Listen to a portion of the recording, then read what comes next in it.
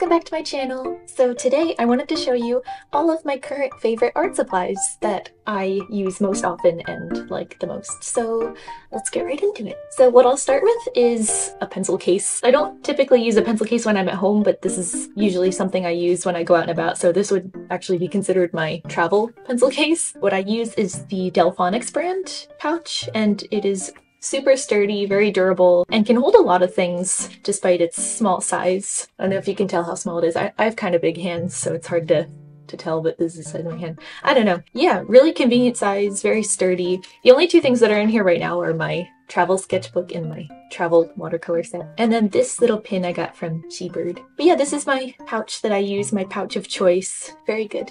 I like it a lot. Next, I'm going to go into graphite slash pencils slash charcoals. What I typically use the most for general sketching is this Pentel Twist Erase XP or this Graph Gear 1000, also by Pentel. This is actually 0.7 size and this is 0.5. One day I would like to get, this is actually, I'm not sure the softness of this lead, but this lead is HB. I'm thinking of getting a softer lead for it, but it works well for me right now. It's very useful for just general sketching when I just want a simple like pencil paper type of experience, nothing too fancy.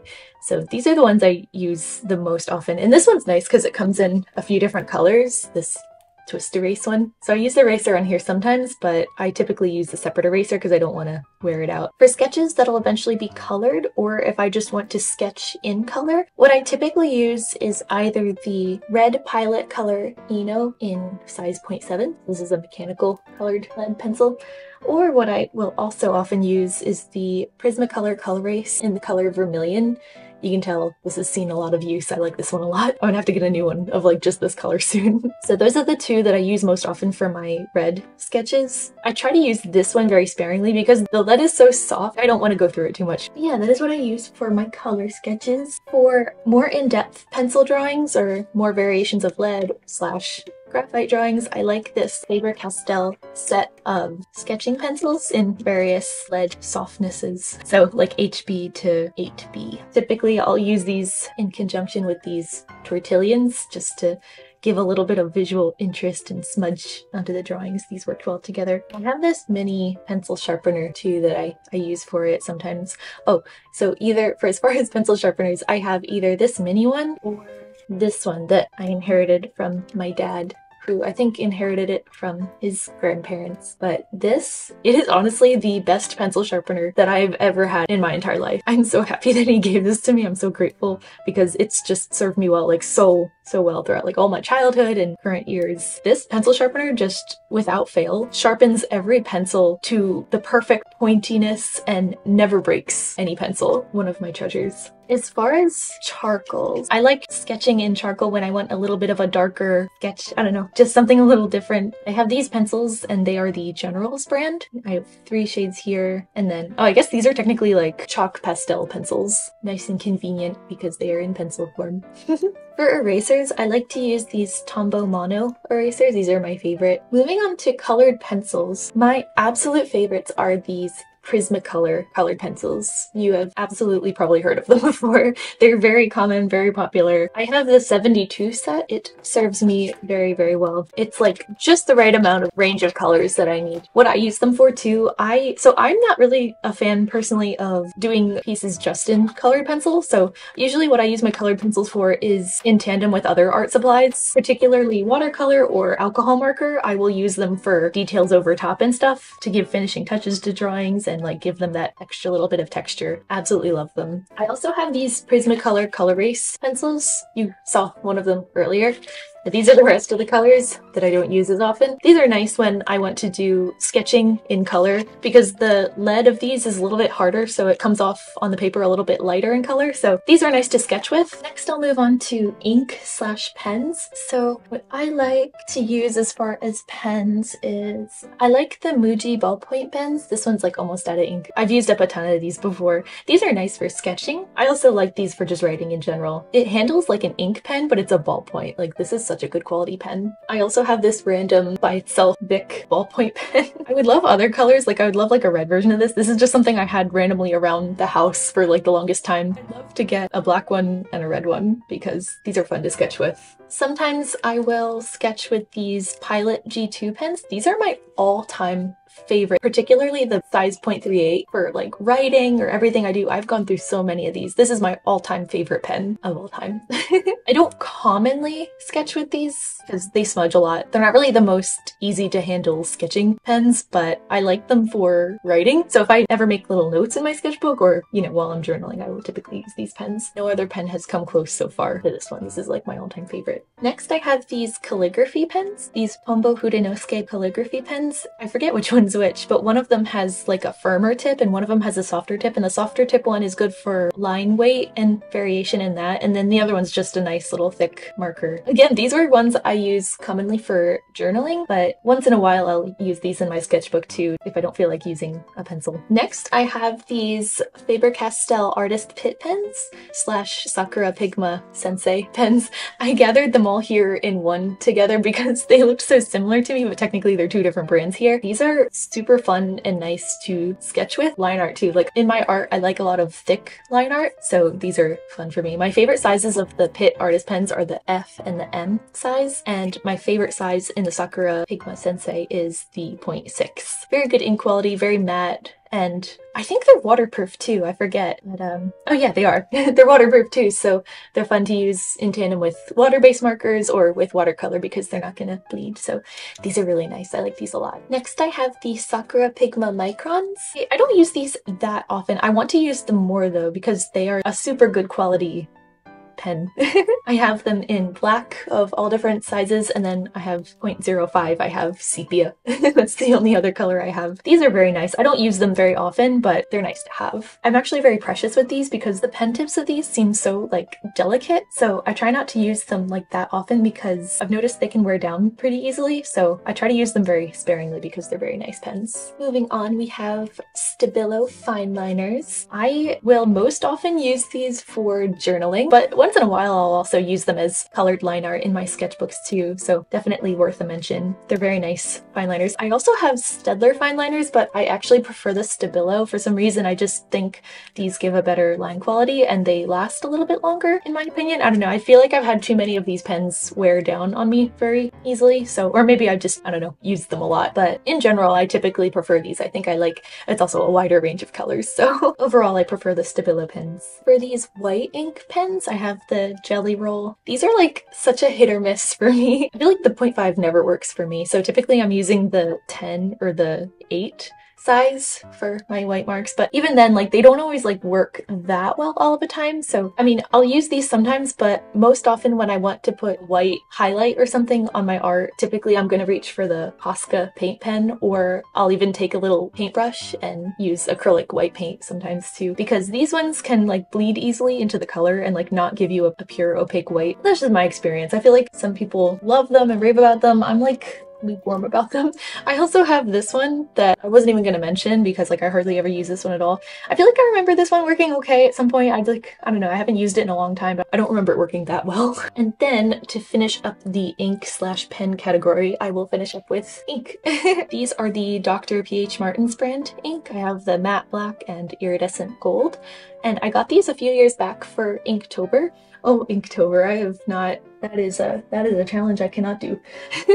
but around October I do like to practice with ink and I actually really like working with ink. I found it handles a lot like watercolor. I have to be really really careful with it because it's the kind of medium that doesn't wash out like watercolor. But you know as long as you're super careful with it, it is a very fun medium to work with. Moving on to markers. So first I will talk about water-based markers that I like. So my favorite water-based markers are the Tombow ABT markers. These are really nice because they are dual sided so they have the fine point side and the brush side. So I like to use them for sketching and lining and also coloring things in. I really like these a lot. They're a lot of fun to work with and the color quality is very good. This next tool I also typically mostly just use for journaling, but once in a while I'll use them in my sketchbook to like color with or line with. Similar to the Tombow ABT markers, these zebra Mildliners have two points, so you can do it like a fine point tip or there's a highlighter side. I don't like to use these that much in my sketchbook because I prefer to like save the ink for when I'm using them in my planner or journal. It's just another thing I might use. Regarding alcohol markers, my all-time favorites recently are the Ohuhu markers. I just really love the quality of these markers. I think they are on par with Copic, if not probably even better, because I prefer like vibrant bold colors and I feel like the colors of the Ohuhu is generally more vibrant than Copic. And Ohuhu is great because not only do they, they have refills now for their markers, but also you can choose the type of brush tips that you can have on either side. So I, I chose like brush and fine tip for mine versus the chisel tip. Like I don't like chisel tips, so I opted not to get that. And you can like get a lot of colors all at once. I liked the Copic when I was using Copic, but I ended up just really preferring Ohuhu over Copic. My last type of markers I have are paint markers, and I have these Posca pens. These are the only paint markers I have. I would love to try like different brands of paint markers, but like this is the only one I have for now. I really like these.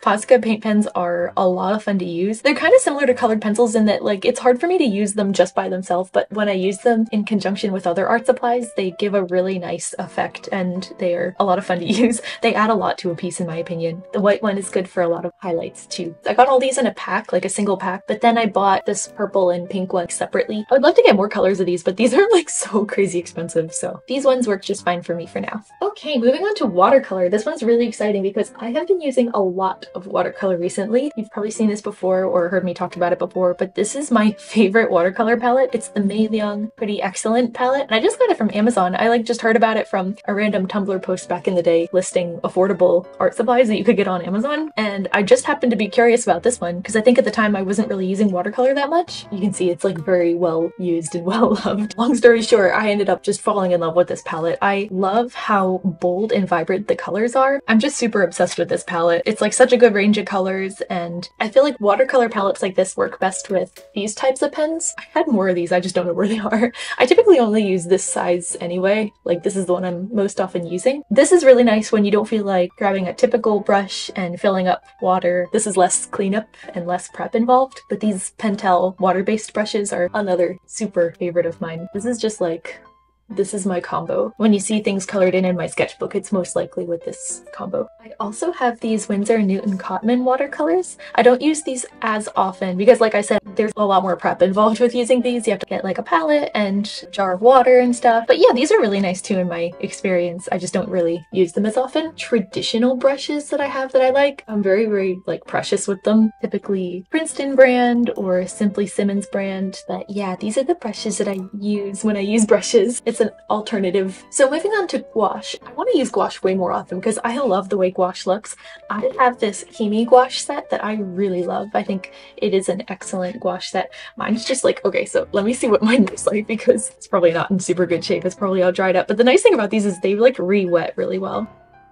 Yep, definitely is in dire need of being like re-moistened. I really like Himi gouache. It handles really well and the colors are super pleasing. But yeah, just, just don't look at my Himi gouache. It's a it's in bad state right now. I also have Arteza gouache. I haven't used this a ton because, again, I feel like lately I've only been using watercolor, but I definitely want to get back into using gouache. And I like this set too because similar to the Ohuhu, this was like relatively affordable and this came with like, there's like, what, like 12 more trays in there? there are so many colors in here. And I'm really, honestly, I'm not really one that likes to mix my own colors, so this is perfect for me, like just having a wide range already there. Don't ask me what happened. I, I don't know what's going on with this one. They're like all in pristine condition and this one just looks terrible. but yeah, I also like the Arteza gouache. I feel like I'm not experienced enough of a gouache user to like be super critical about them. Like, I don't know, they just, they work good for me. They put color on the paper and that's what I need them for. I want to incorporate more gouache in my pieces because I love the way gouache looks, so definitely want to get more use out of these. For acrylic paint, my favorite brand is, I like these ones. These are like kind of the same brand, but more like cheaper version. And I like getting basics in these, like having a lot of these. But this is a brand that I have used since high school. Like in all of my high school art classes, I'm just so used to using the Liquitex brand of acrylics. So after high school, I ended up buying the same ones because I was so used to using them. They might be on the slightly pricier side, but again, since I had used them for like years all through high school, I just felt comfortable enough getting my own set. And I like how they have like a more affordable like version of the colors too. So I think if I were to get more colors, I don't know, I'd probably like reach for like this version of the brand more likely, but I don't use a lot of acrylic in my sketchbooks. When I paint acrylic, it's usually on a canvas. Like I mentioned earlier too, I like to do like a tiny bit of acrylic on like a very thin paintbrush if I want to do like a highlight or something because in my experience the opaque white pens aren't as opaque as they claim to be so usually I'll just go for this stuff. Lastly, I wanted to talk about the type of sketchbooks that I prefer the most. So when I am looking for a sketchbook, so typically I'm looking for something that is perfect bound, not too many pages, because I feel like I work in them so slowly anyway, so having like a huge book will just like slow me down even more and that just, that doesn't work that well for me. I like being able to like complete my books in a reasonable amount of time. And I, I don't like spiral bound, I've mentioned that before. I prefer perfect bound books because I like doing spreads all across. I don't like them to be too like large in size because if there's too much space on the page. I don't know, I feel like I get intimidated really easily because I like to fill up my pages and try to like eliminate all the white space as much as possible. So if there's just like a lot, a lot of white space, I feel like that would like intimidate me and it doesn't really work that well for me. I like both off-white and the bright white, but I think I prefer a little bit the bright white because I think colors pop more on bright white, but off-white is nice too. It's easier on the eyes. I like something that has like a closable strap, so something that I can close because I feel like that protects the book more and protects the pages more. Also prefer hardcover over soft cover because again, I feel like it's more durable. I prefer like a black sketchbook cover because I like putting stickers on my sketchbooks and I feel like that looks the best. Like I just, when I think of a sketchbook, I just think of a black book with stickers on it. I don't know. But yeah, that's what I look for in a sketchbook. So I gathered a few of my top favorite sketchbooks that I've used in the past. Some of my top favorites that I've used are this book, my sketchbook five books. This is a Strathmore mixed media hardcover. I really love this because it's like not that long of a book. The Strathmore mixed media paper is really nice. I have the soft cover version too, but this hardcover version is really nice because it just feels more durable to me. It's also smaller. I, I don't know how I feel about the square edges too. Sometimes I feel like I prefer round, but I'm not really sure. But also like it doesn't close too, so it checks off most of the boxes, but not like every single one. And also has bright white paper. Like, I feel like the colors show up really well in this book, in my opinion. This was one of my favorite books to work in. Another one, this is part of my unfinished sketchbook series, but this is the Mossery Mixed Media. Yeah, it's just super nice, closable, and the cover is really nice too because like you can switch it out. The book itself is actually spiral bound, but I actually don't mind it too much because the actual quality of the book is just like so nice that I, I really don't care like what binding it is. This is a really, really nice quality book. This is an unfinished book that I can't wait to get back to because it's like that good. And the sketchbook that I am currently in is one of my favorites. This is the Ohuhu Mixed Media. I've really been enjoying working in this so far. It checks off a lot of the requirements that I look for. I'll be so sad when it's over because this is probably one of my favorite books I've ever worked in. Huge recommendation if you have the same preferences as me. Last, before I forget, I do want to mention the last medium that I use, which is ironically the medium that I use the most often. so it is digital. I have my iPad. It's a 12.9 inch iPad Pro. It is a very good, very solid machine and it has my all-time favorite digital drawing program, which is Procreate. So that is what I use for my digital art. Ever since I switched to using an iPad and Procreate, I feel like my art improved a lot, so that's like a huge favorite of mine. And then when I'm drawing digitally, I will use this hand protector thing, just because sometimes when I watch other people draw, it like baffles me that they don't need to like rest their hand on, but maybe, I don't know, my hand or my arm gets tired, I have no idea. But like I physically cannot, I can't draw with my hand in the air, I need my hand like resting. yeah, no, it's like really hard for me to draw with my hand resting in the air, and I've noticed that the palm rejection on the iPad, it's all right, but with the amount that I, like normal person would probably be fine, but the amount that I need to put my hand on, it doesn't really work that well. So I need an additional sort of barrier between me and the screen in order for it to like work really well. And also I don't like when my screen is smudged, so that protects it from that too. And then yeah, for that same reason, I have this little cleaner that I can use to clean off the screen often because again I don't like smudges so yeah that is my digital art supplies. Alright so that is just about all of my it's not all of my art supplies that I have but it is pretty much a good representation of my favorite art supplies and the art supplies that I use the most often. Lastly what I'm going to do okay we're gonna circle back to my travel pouch. Lastly what I figured I would do is show you my travel essentials so of all of these art supplies what I would choose to bring with me if I were going out and about. So let me take this out and just show you. So this is a Peter Pauper Press brand sketchbook and it is what I use for my travel sketchbook. It fits perfectly in here so it is good. This, I have no idea what brand watercolors these are so I got these both at a local bookstore and I don't remember, this is probably like an off-brand of some kind, I don't know, but it doesn't have the brand written anywhere on here but it's kind of like a travel watercolor set. I don't love the colors in here but it works. and oh yeah, so it came with its own little water brush. Those are the first couple things that I would put put in my travel case. The next thing I would choose to include is my red Pilot Color Eno for colored sketching. Next, I would include my Faber-Castell sketching pencils, along with a mini Tortillon and mini sharpener, and Tombow mono eraser. Oh, there's something else in here. Oh, I forgot I had this in here. I also have these little sticky notes. These are actually very important. I like sticky notes to cover up mistakes. I'll draw on top of whatever I just did. For regular gray sketching, I would include my Pentel Twist Erase, mechanical pencil. I would include a couple of Col-Erase pencils, including my favorite one, Vermilion. I would also include this whiteout for the mistakes that I'm inevitably going to make. Actually, it doesn't fit that well, so no, I would not I would not include whiteout. Next, I would choose these Mildliner pens that I don't use that often. They're just like kind of extra colors that I hardly use that often, so I don't mind using them up. So I would take those with me for just little bits of marker-based color. And the last thing I would take with me are these Faber-Castell one and the Sakura Pigma Sensei artist pen in my favorite sizes to work with. That would be the typical representation of what I would take with me. I would probably opt not to use these outside pockets typically, just because if I'm taking it out and about, I don't want anything to fall out. So everything I'm going to try to like put inside. So anyway, I hope you enjoyed the video. I hope you enjoyed seeing the kinds of art supplies that I prefer the most and like using the most. If this gave you any inspiration or if you saw anything interesting, feel free to also try the same art supplies. I hope this was interesting. I hope this was fun watching. Sorry if it was a little chaotic. I'm not good at showcasing things. I'm just like, here's this. Okay, no, here's this. Okay. But I hope you enjoyed the video. Thank you so much for watching. I really appreciate you being here. I hope you have a nice rest of your March. It's warming up, so spring's coming. That's really exciting. See you in my next video. Bye!